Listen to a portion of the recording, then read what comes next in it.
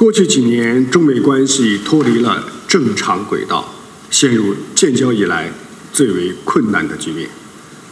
其根源在于美国的前政府出于自身政治需要，对中国的走向和政策做出了严重误判和歪曲解释，借此出台的各种遏制打压行径。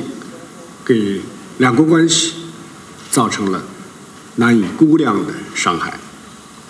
今天，中美关系要拨乱反正，重回正轨，首先需要打破由各种对华错误认知而人为砌起的高墙，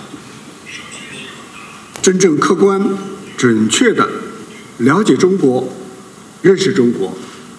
读懂中国。